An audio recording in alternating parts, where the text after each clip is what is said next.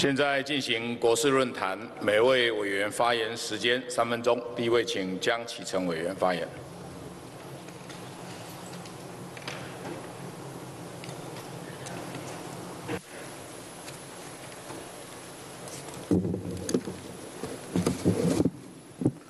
主席，还有各位委员同仁，还有各位行政长官、各位媒体朋友，大家早。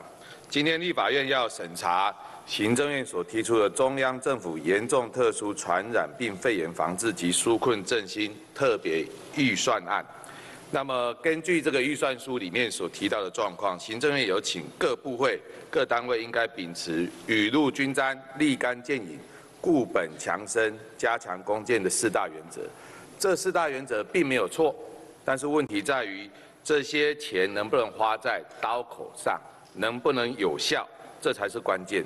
然而，我们检视目前的预算书的内容，来跟这四大原则做比对，我们可以发现，举几个例子来讲，例如客委会所提出的要求为例，这当中客委会提了一亿五千万元，当中一亿三千两百万是花在发放电子旅游券。一千八百万来办理客家产业的展售会，还有相关的行销活动。但是我们如果看今年开始，客委会有新增客家传播行销计划的公务预算，今年就有七亿元之多。所以这当中到底有没有叠床架屋，或者基于时间的关系，就啊？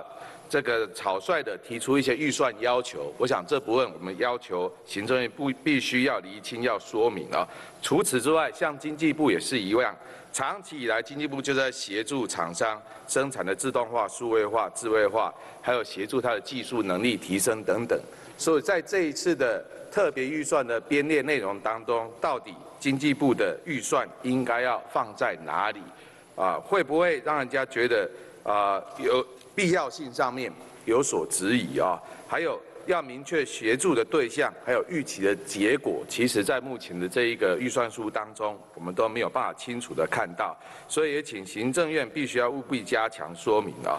除此之外，预算当中常常提到举办会展啊、加强行销啦、鼓励旅游啊、奖励消费等等啊，但是这些就是我们目前在防疫当中啊，其实。很多人呢避之唯恐不及的地方，所以到底要如何让你这一个预算有效，也不免让人家质疑啊。所以重点是这一些预算能不能发挥纾困的效果，在目前的预算说明当中，我们没有办法清楚的看到。所以总言之，有了法源依据之后，特别预算是行政部门来对抗疫情的子弹，但是也不代表立法院就应该照单全收啊，因为这是人民的。啊，荷包我们必须要看紧，尤其在目前这个非常时期，我们希望对症下药，真正让我们的纾困预算发挥纾困的效果啊！所以在党应该要恪尽职责，我们必须严厉的来监督跟审查，务必让这一些纾困预算花在刀口上，务必让纾困预算有效。谢谢。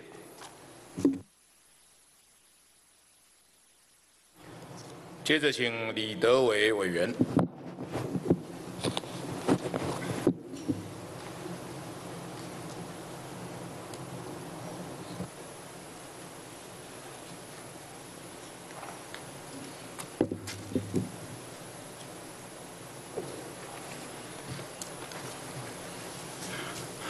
呃，主席，各位同仁，所有媒体的好朋友，我想今天德维。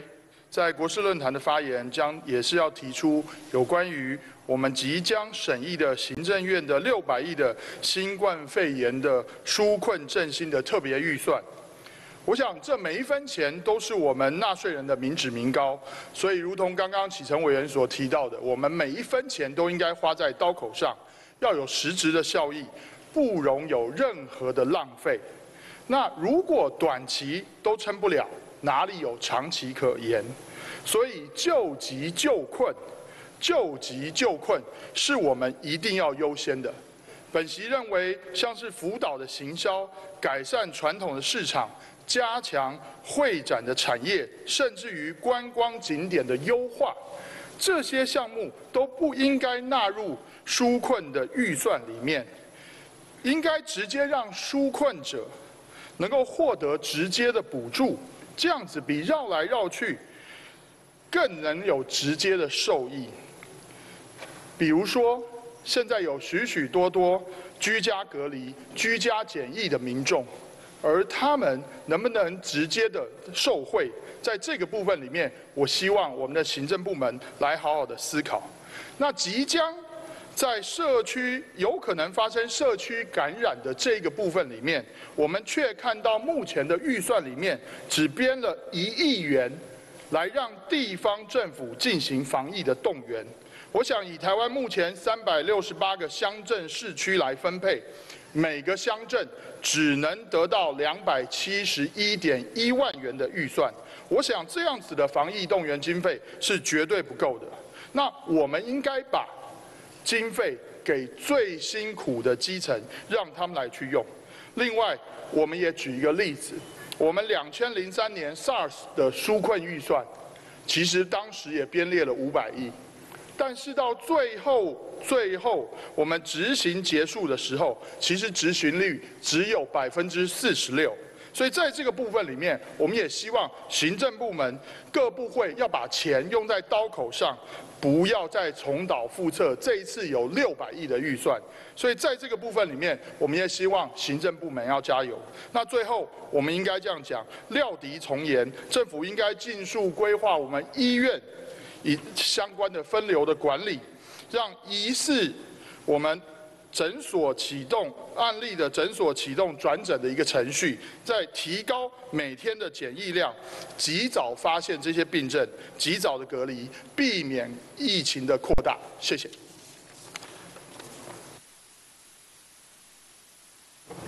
谢谢。接着请杨琼英委员。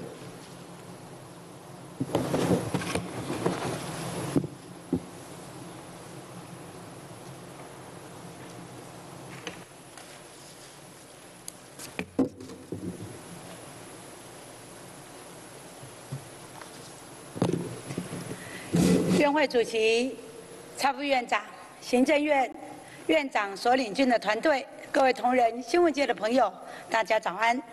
今天杨琼英本人要说明的是，目前我们即将已经是迈入全民防疫的新时代。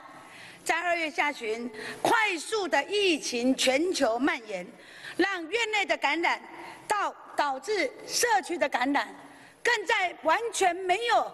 显示情况状态的情况之下，也能够成为一个传播者、散播者，所以又导致到院内的一个传播，让大家非常的恐慌。尤其我们看到三月，我们即将要大学的开学，所以医务人员以及防疫人员非常非常的辛苦。那么，所以我们更需要有因应实施的多变的疫情，更具前瞻性的方案。所以因此。我们也感谢行政院在二月二十七号重听了大家宝贵的意见，终于将二级升格为一级，来跨部位的协调以及资源的一个整合，由点的防御这个策略，到入目前全面性的决策规划跟行动。我们回顾在二零零三年 SARS，二零一四年非洲伊波拉，以致。到二零一五年，南韩的 MERS，一直到目前二零一九年，我们目前的状况，在当时 SARS，苏益仁先生立即成立专家访问团，将所有的医疗院所，大家不管透过视讯，一直不断的经验交流，能够接地气，去防止医疗当中实践当中的一个漏洞，能够让我们所有的人得到一个安全。就成了最近一个三十四岁的医师，全球第一例医师当神仙，让我们非常的心生恐惧。就因为口罩 N 九五竟然是戴在里面。所以在这样的一个情况之下，让大家是非常的紧张。外科口罩竟然是戴在里面，所以本席在这边要特别的来呼吁：目前我们应该是全民动起来，同时我们也了解到目前的情况，我们工位的教育应该是已经要立即推动走入到人群的社区，全民动起来才能够保障所有的安全。所以在这边，本席也建议。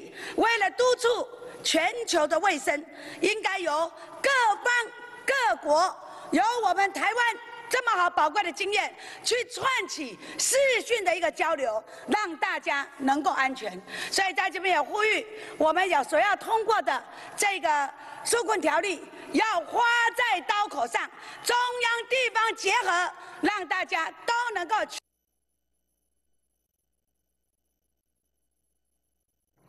谢谢。接着请邱成元委员。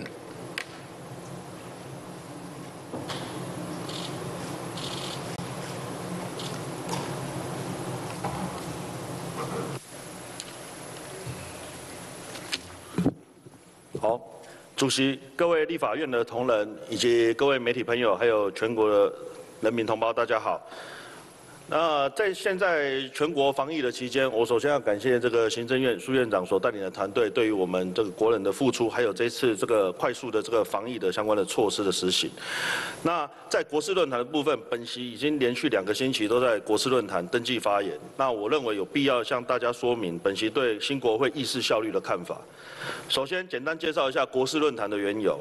那立法院从一九九四年第二届的院会开始就设立国事论坛，那主要是让这些出席的委员在每次院会的时间上，可以就国事的问题发表意见。那每人发言三分钟，这是提供立法委员在咨询外的一个发表时事、民意跟对政府建议的相关发言的机会。那国事论坛的发言程序也明定在我们立法院的议事规则第二十二条中。那在二月二十一号开议的第一天，本席就在咨询的机会前先排定国事论坛的发言。那说明这次新冠肺炎疫情对于台湾产业的影响，还有台湾后续产业转型的一些契机。那重新审视我们产业的一些相关的看法。不过，反而这次的国事论坛获得比较大的回响，居然是这个还是这个废除国事论坛这个相关的议题。那这个议题其实在历史上都有。被提出过，那在上一届的立法院就有被提出来。那现任的这个内政部长徐国勇担任立委的时间，在二零一六年的会期一开始就有提出来过。那其实朝野之间也有相当的共识，但是在这个立法院的议事规则部分条文修正草案中，其实我们可以针对这个议题哈，在新的国会的这个意见哈，大家。来协商，来是可以去讨论这这部分的存废。那其实现在目前社群媒体的发展已经相当的发达，立法委员透过直播或发布动态消息的管道也越来越多，那表达他公共的想法的管道也越来越多哈。所以透过这样子，包括我们国会也都有一二三的这个直播的频道，其实在相关的这个表达这个意见的方式已经跟过去大大不同。那国事论坛的意义的确也与过去有所有所可以有讨论的空间。那既然现在在过去立法院的同仁都认为新的国会要更效率的议事的流程，为何不一起努力在国会的改革方向上再去做这方面的修法？那本席认为我们第十届的立立法委员的团队哈，其实这一次就碰到这个新冠疫情的这个。特别条例的相关的这审查预算，其实我们朝野应该用实力做实事。防疫期间，建议大家要多洗手、少口水。那针对防疫的议题、相关的议题，那本党也会就今天特别预算相关的咨询中，再提出比较细则的看法。最后还是强调，本席支持更有效率的立法院。谢谢大家。谢谢。接着请李桂明委员。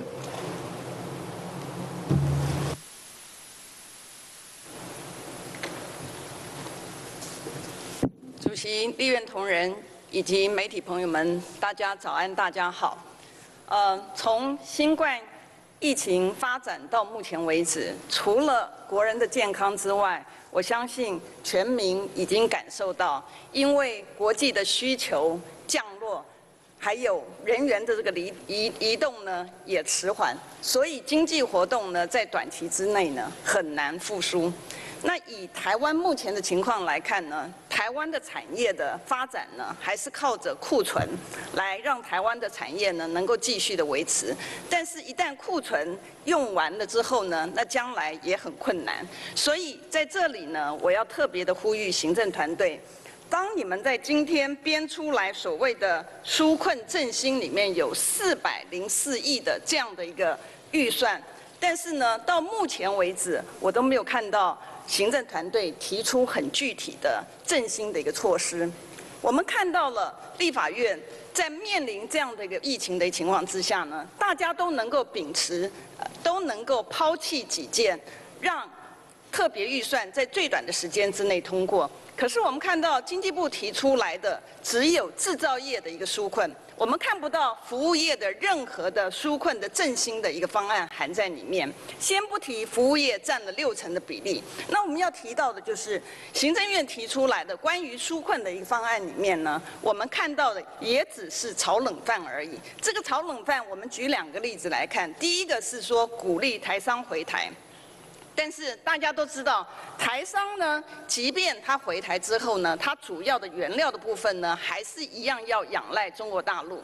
第二个，他提出来说要加强东南亚的这个南进的一个政策，但事实上这个政策呢，我们看到它并不能够解决这个供应链断裂的一个情况。所以在这里呢，本席要特别的呼应行政团队，务必要提出具体的方案，让这个四百零四亿的特别预算呢，能够真正发挥在刀口上面，能够真正提出具体的方案，让国人不管是产业界也好，或者是将将来的公司的员工也好，他都能够真正因为这样的一个纾困的方案呢，能够持续的进行台湾的这经济的活动，也为台湾的经济活动呢撒下那呃种子，继续的一个种子。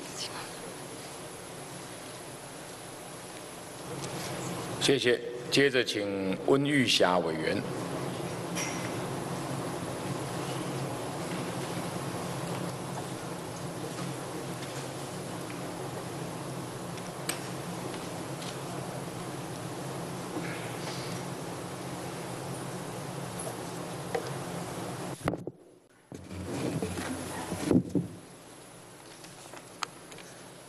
主席、苏院长、各部会首长及立委同志们，大家早。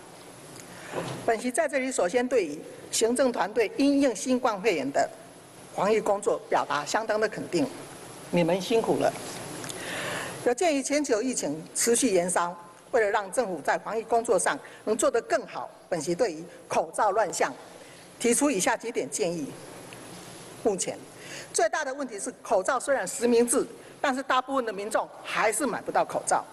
经济部说，三月份开始呢，被所被征用的口罩工厂每天的产能可以一千万片，目前是九百九百多万片。那么，照照这样想，一千万片的口罩可以达成这个目标吗？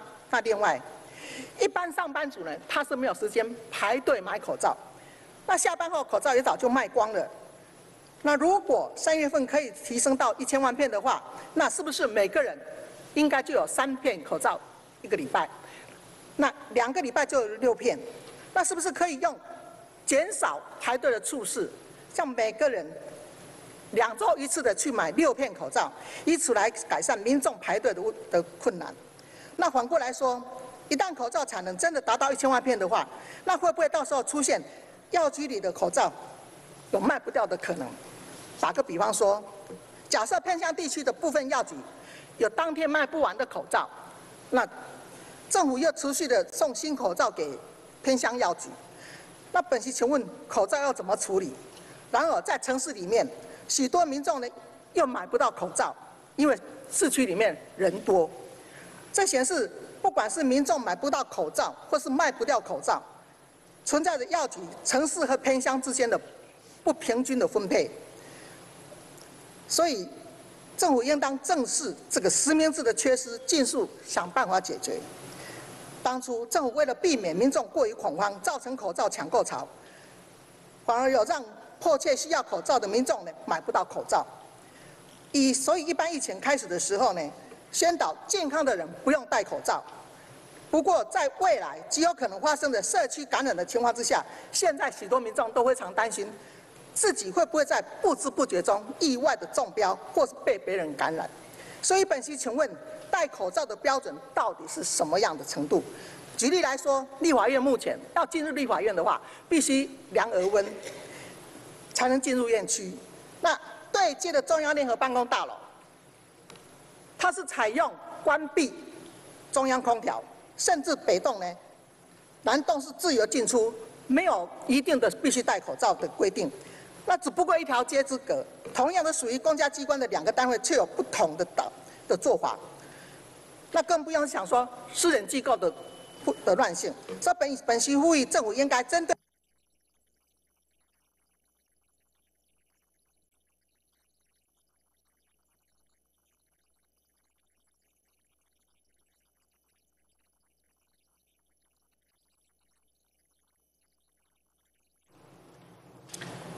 接着，请叶玉兰委员。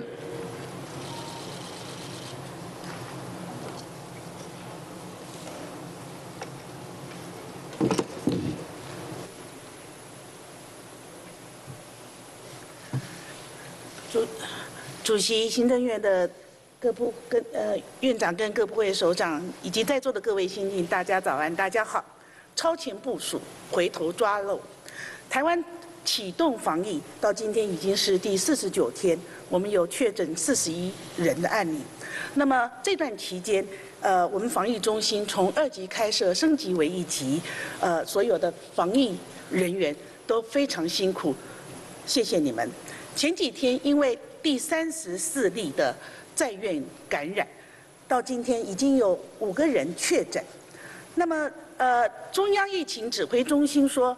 这证实了台湾已经发生了院内感染，新新冠病毒在无症状时期也有也有传染力。我们该不该害怕？不，面对疫情，我们一定要超前部署，要呃升级部署，一定要有不是敌之不来，是无有以待之的信心。既然已经一级开设，我们就应该以社区感染一定会发生的这样的标准来做准备，要去检视到底我们的防疫还有什么漏洞，还有什么缺口。过去本席曾经再三的提醒，如果外籍看护买不到口罩，会是我们的不定时炸弹。结果第三十二例就是一位在医院里面担任看护的失联义工。他是在照顾确诊病例的时候受到感染，然后又到其他医院工作，期间他搭着公车、火车跟捷运到处啪啪走。像他一样的失联移工，在台湾大概有五万人，他们都会是我们防疫的重大的挑战。政府抓或不抓，都会是两难，抓。会让他们四处逃逃散，反而难以掌控疫情。另外就是呃，我们的呃白牌车跟计程车，我们看到游轮靠岸之后，很多旅客都是靠着计程车在台湾行走。那前一阵子呃，行政院的陈副院长也只是说，呃，没有牌照的这些白牌车会是防疫的漏洞，所以。交通部就下令要呃加强取缔，本席认为你只有取缔是不够的，绝对是不够的哈。我建议在对于看护工的部分，我们应该从医院来发给病患和看护工口罩，来防止交叉感染。对于计程车跟跟白牌车，我希望能够在。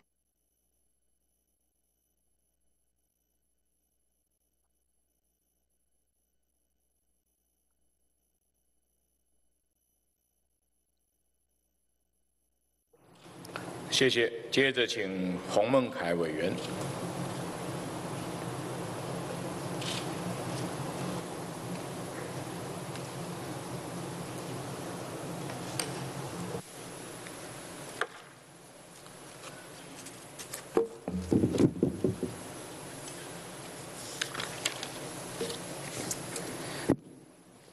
主席、各位同仁、行政院长及所有部会首长，首先。我想，今天立法院邀请行政院长苏贞昌就防疫纾困特别条例来做报告，并且备询后，我们也会交付六个委员会审查，尽数完成三读。不分朝野的共识，全台两千三百万人就是希望一致，也因为新冠肺炎所冲击的行业，能够因为这个防疫纾困特别预算条例，能够赶快来救急，让国内所有的产业能够早日渡过难关。而在这一次全国、全球发生的疫情，台湾在这一波防疫的表现。真的可谓可圈可点。全台两千三百万人共同面对疫情，我们展现出韧性、坚韧不拔的精神，本席予以高度的肯定跟骄傲。但是，我们也要以料敌从宽、抗敌从严的心情，也要提醒，现在防疫指挥中心已经升级为一级开设。陈时中指挥官以及所有的部会首长都应该要有更超前部署的打算跟准备。譬如说，像陈时中指挥官有呼吁明代不要跑脱，也不失礼。本席表示尊重，并且愿意配合。但是我们更需要，也更希望防疫指挥中心告诉全国民众，现在到底办理大型集会活动标准准则是什么？譬如说，上个礼拜大甲妈祖或是白沙屯妈祖都已经延后顺延。呃，暂停绕境，但是连假三天，中华职棒也打了好几场的热身赛，进场观场的人数甚至破了万人的观众。本席身为一个三十年的兄弟象迷，每年的三月、四月是我最期待的日子，但是。现在面对疫情，我们更要呼吁，是不是这样的一个大型活动，其实有可能也会造成防疫的漏洞？看看他国，日本职棒在二月二十九号到三月十五号已经取消了七十二场的热身赛，观众进场只打球，不不开放观众进场。而韩国也更是取消了热身赛，也因此在我们台湾的部分。是不是由防疫指挥中心统一口径、统一标准，告诉全国的民众，现在是不是宜、合不合适、能不能够继续办理大型的集会活动？我们再一次强调，防疫不分颜色，防疫不分立场，我们唯有专业、理性、认真判断，才能度过这次的难关。谢谢。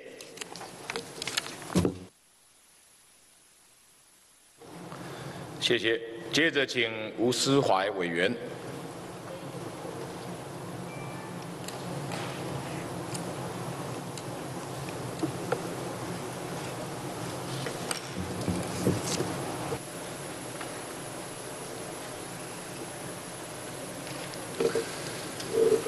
主席、行政团队、各位委员，大家早。现在的防疫已经是全球非常高。风险的阶段，国内也发现院内感染，本土案例也已经超过境外移入的案例。虽然防疫中心和第一线的基层人员做得非常努力，也做得很好，本席在这边予以肯定。苏院长今天也说了，现在的方向调整为围堵与减灾并行，但是在这里。我要提醒行政团队，本席办公室所接到第一线基层人员以及民众的回应是有落差的。我们的政策非常好，速度也很快，但是实际执行面，所以本席在这边要提醒，防疫作战是贵在务实。再好的政策，如果在执行面有很多缺失，或者有很多漏洞，到头来还是一场空。我讲基层人力现在开始医院分流，这两天看到的现象，分流造成的很多组织延宕。每一个医院本身既有的运作模式，它有它一定的 SOP，突然改成分流，还要做量体温，做很多疫情调查，这个的人力增加。时间耗费造成民众的不方便，有没有事前规划完整配套？另外一个医院发生非法外移的看护工所造成的感染，那么现在是不是应该更重视医院里面的除了医护人员之外，第一线的接触，还有就是照护员、看护的义工、清洁工，这一些跟病毒的接触、跟病人的接触，恐怕是更广泛，是不是要作为一个重点的防治，以免造成防疫的破口或者漏洞？我们再看看，现在虽然说是围堵与减灾并行，我们所看到。防疫指挥中心每天的报告仍然是疫调为主，仍然是追查感染源。这样子，如果把重要的精力摆在这里，而没有去做务实面的落实，会造成整个防疫人力、物力、资源最后量能被拖垮。这是我们大家不愿意看到的。希望防疫作战能够贵在务实。谢谢。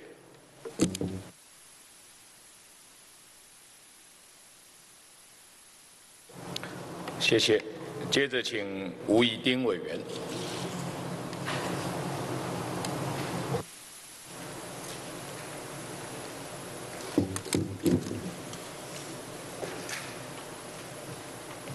主席、各位同仁早安。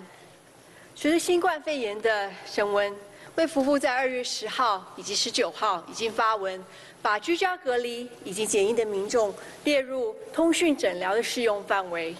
让医生在家里、在医院、在诊所，就可以与民众透过电脑、透过手机、透过平板的视讯来诊疗，甚至开药给这些居家隔离检疫的民众。但是，通讯诊疗法试用期可以多久？放宽多久？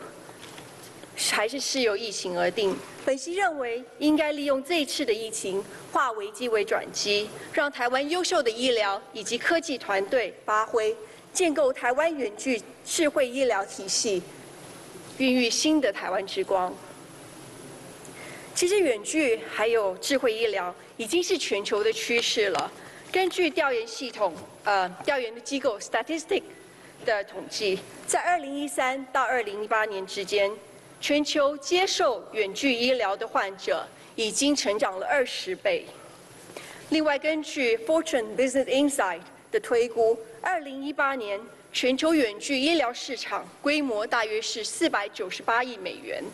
随着五 G 以及 AI 的进步，到二零一六年预估将成长到两千六百六十八亿美元。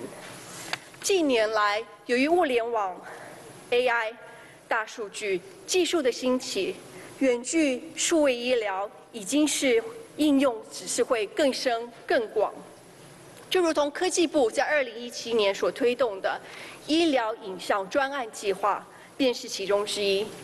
在医疗创新服务范围涵盖越来越广的趋势之下，预期人们将接受智慧医疗，只会越来越越大越广。到底如何？会哪一些有服务创新会接着继续推出？我们必须要制定符合的法规来促进它的发展。借着医疗智慧的服务创新以及推进，协助提升医疗照护品质，改善医疗不平等，甚至于在资源许可的情况之下，让我们的智慧医疗服务更加的出口。最后，在完善的医疗资讯。资料库的基础之下，本席呼吁政府应该让远距数位医疗的成为成为我们医疗的尖兵，为台湾带为台湾带来下一波的医疗与产业发展的新动能，让政府、民众以及业者能走出一条三赢之路，孕育台湾之光。谢谢。